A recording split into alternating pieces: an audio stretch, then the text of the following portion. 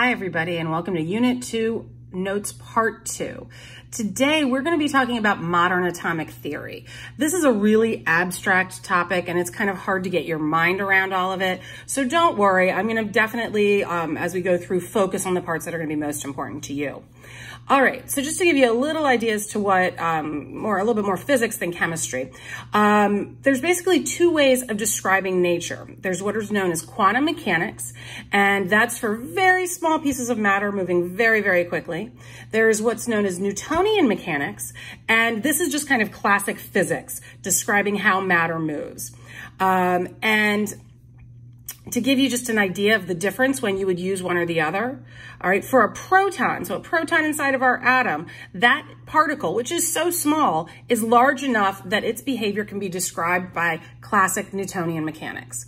For a photon, which is a little piece of light, a little piece of energy, you'd need quantum mechanics to describe it. Well, in chemistry, what we care about is the electron. And our job today is going to try and to be, is to is to try and describe where the electron is in the atom and kind of why it behaves the way it does. All right, so right now you have a lot of different terms going on and a lot of different definitions, all of which are in your notes. So I'm gonna go pretty quickly. We have what's known as the Heisenberg uncertainty principle. It is impossible to know both the location and the direction of the atom. So that really famous Bohr model, also known as the Rutherford Bohr model, what is great to visualize, but the model itself was too specific as to where the um, electrons are located. They thought of the electrons kind of rotating around the nucleus like the um, planets rotate around the sun, and that's not what actually happens. Instead, modern atomic theory focuses on what's known as Schrodinger's equations, which are equations that talk about the probability of where you're going to find electrons. We're not going to be looking at this through his actual equations at all, but this is going to give us our idea for what we call quantum numbers. All right, our three uh, principles and rules here, we're gonna actually leave and I'm gonna bring them up um, when we work with them a little bit later on. So, modern atomic theory uses what are known as quantum numbers to describe where the electrons can be found. And the idea of this, you want to think of it as trying to give each electron within an atom a unique address, an address that no one else has. All right. So first off, we have what is known as the principal quantum number. This one we're going to use a lot.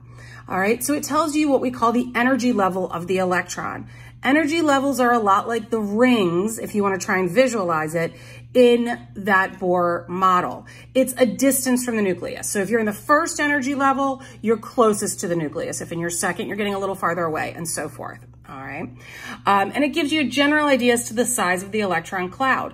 The greater the principal quantum number, okay, if you're in the seventh energy level, that's a pretty large atom. All right, so how do we figure out how many electrons can live on each energy level? The greatest number of electrons that can be found in each level can be calculated using this equation, 2n squared. So if you're first in your first energy level, n becomes 1, well, 2 times 1 is 2, I'm sorry, 1 squared is still 1, and then 2 times 1 is 2. So in the first energy level, you can have 2 electrons. Second energy level is going to give you 8, and then finally, that third energy level, you can have 18 and so on. And then a little more practice. This is simple math, so I know you guys can do it. Fourth energy level could have 32 electrons. Okay, great. All right, so that's our principal quantum number. And the principal quantum number gets the abbreviation N. I have no idea why the abbreviations are the way they are, but just so you know that they, they exist. Okay, so let's talk about the second quantum number. This is another one that we're going to use a lot, and it's going to help us understand the periodic table better. Uh, the second quantum number, which gets the abbreviation lowercase l, okay, which is hard to type out, so lowercase l, tells you what's known as the sublevel of the electron. Now, here's where you need to memorize some things, and this is right here. When we talk about sublevels, you need to know how many electrons live in each sublevel. The S can hold two electrons, P can hold six, D can hold 10, and F can hold 14. All of that really, really important to remember. The shapes, I'm not worried about the shapes. They are there. You can certainly read a little bit more about them in your textbook. But what I really want you to come away with is what the sublevels are and how many electrons are in each. Now, a little bit more math. The number of sublevels for each energy level equals the value of the principal quantum number for that level. Ah, so what does that mean? Well, it just means that in your first energy level can only have one sublevel. And if you can only have one sublevel, that sublevel is S. The second energy level can have two sublevels because it's the second, and that's going to be the S and the P. The third energy level, you're starting hopefully to see the pattern, can have three sublevels. They're going to have an S, a P, and a D. Great. Now to go back to that little equation, we already figured out that the maximum number of electrons in the first energy level was two. Well, it only has a S sublevel and S can only have two. So that makes sense. We figured out that that second energy level, all right, remember can have eight electrons. Well, S is two, P is six, two plus six is eight. So hopefully you're seeing the pattern, okay? All right. Now, our third quantum number, which gets the abbreviation lowercase m. Again, I have no idea. Um, this one we're not going to use a whole lot. Um, it's really focused on the um, orientation in space of what we call orbitals. If you go on to take AP chemistry, you'll talk a lot more about this. Uh, but what we want to take away from it is this term orbital. Orbital means a pair of electrons. All right. So orbital means a pair of electrons. The space occupied by a pair of electrons is called an orbital. So how many orbitals are in each sublevel? Well, it's a pair. S can hold two electrons, so that's one pair. P can hold six electrons. How many pairs is that? That's three. D can hold 10, that's five pairs. F can hold 14, that's seven pairs. Nice and straightforward. That's gonna come up a little bit later. All right, the final quantum number, which is known as the spin quantum number, and it gets the abbreviation S, that one actually makes sense, um, is states that no two electrons can occupy the same space.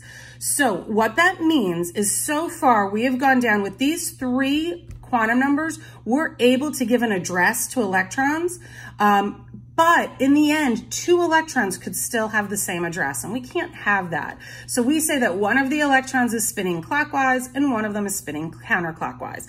We don't know that. That's just what we say is going on um, to give them a different address. All right. Again, I know this is abstract, but let, let me um, stop now and I'm going to show you how we're going to end up using this. Hi, everybody. We're going to now talk about the more practical side of those quantum numbers and where we're going to actually be using them. And someplace that we'll be using um, on and off throughout the year is what's known as an electron configuration. All right. Now, the electron configuration chart is something you're going to be using a lot, so it's important that you write this down really neatly. Um, in addition to using this chart, you are um, showing how much you know about quantum numbers by actually being able to develop the chart. So let's talk about what I mean there. Okay, so we're going to start out just talking about those quantum numbers again. In our first energy level, you have one sublevel. What is that sublevel? It's an S. How many electrons can, um, can S hold? It can hold two. All right, great. Directly under this, second energy level, you have two sublevels. The first one's S, and it can hold two. The second sublevel is P, and it can hold six. All right, we're going to continue down. Third energy level has an S that holds two, has a P that holds six. It also has a D, so we call that 3D, and Ds can hold 10. Okay, we then have the four, Again, nice and lined up. Good handwriting when you're putting this in your notes. So pause this if you need to so you can make it look really nice. Four also has the F sublevel, which can hold 14. All right, so now we're going to five,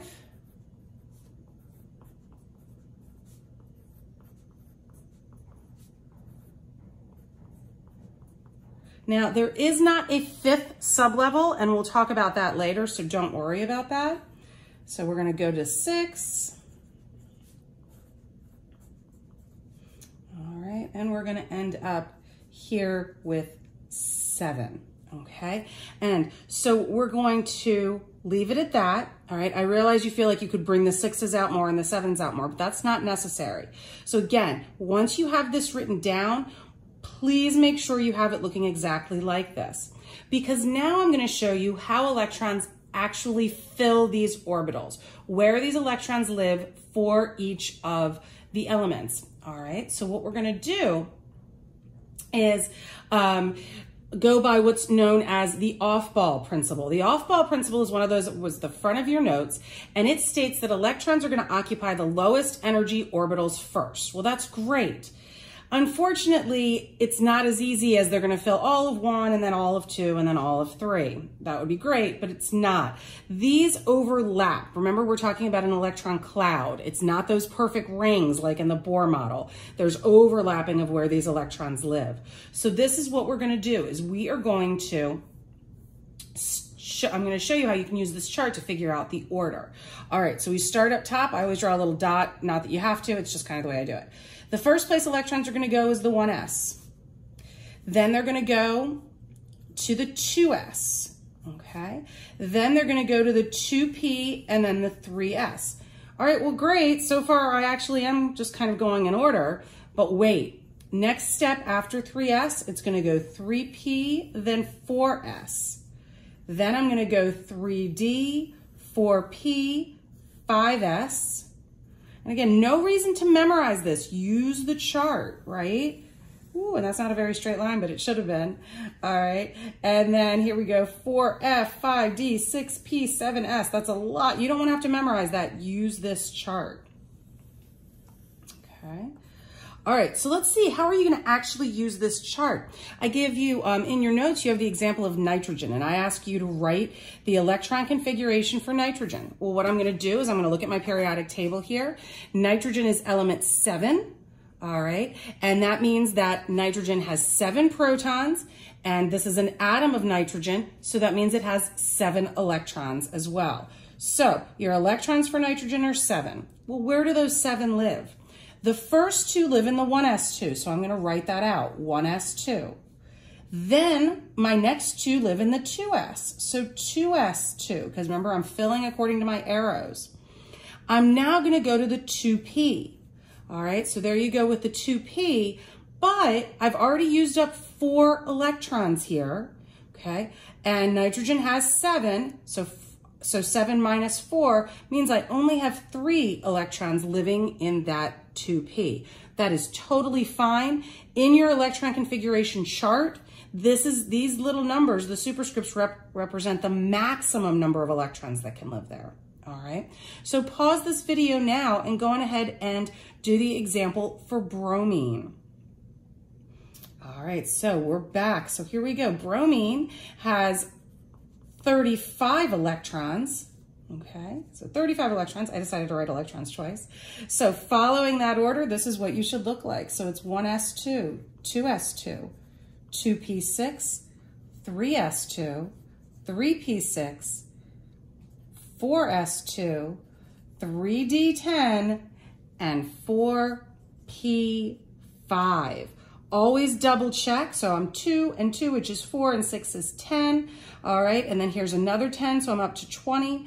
That brings me up to 30 and 35. So I've used my 35 electrons for bromine, and that's what the answer for bromine should be. All right, fantastic. Another place that we're going to use an electron configuration chart is in what's called an electron filling diagram.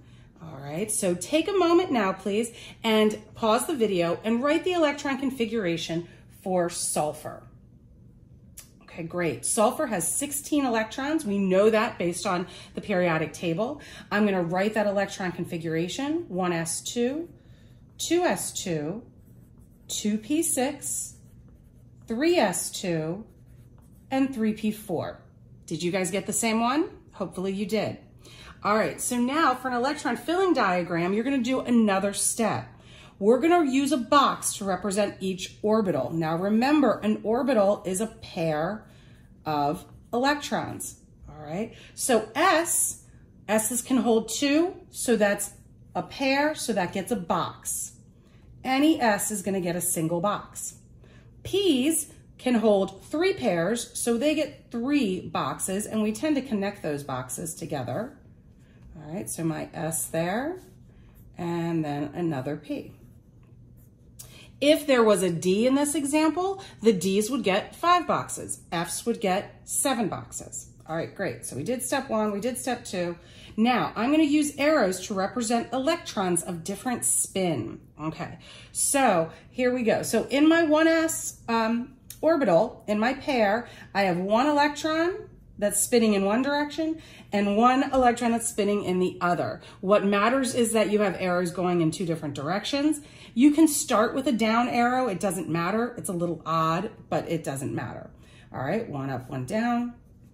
All right, I always get in the habit, I do all of my up arrows and then I do my down arrows, one up, one down, and now here we go. I'm at 3P4. So I'm not gonna have arrows all filled up just like I did back here at the 2P. Here, I'm gonna go, I want my own room, I want my own room, I want my own room, right? And then, oh, I have a leftover one, so now somebody has to pair up. It doesn't matter who pairs up, all right? You could, again, do the middle or the last one. It's odd. Typically, you just do it in the way that you read it, all right? And this idea of wanting your own orbital before you're gonna pair up. This is called Hund's rule, okay? Electrons want their own orbital or their own room before they are going to pair up. So what would be wrong in this one is for this last one, let's say, if you did this and you had those four with this being empty, that would be incorrect, all right? We're gonna do more practice with this. What's nice is you can choose any element and go on ahead and do this for yourself as a little bit of practice. All right, thanks so much.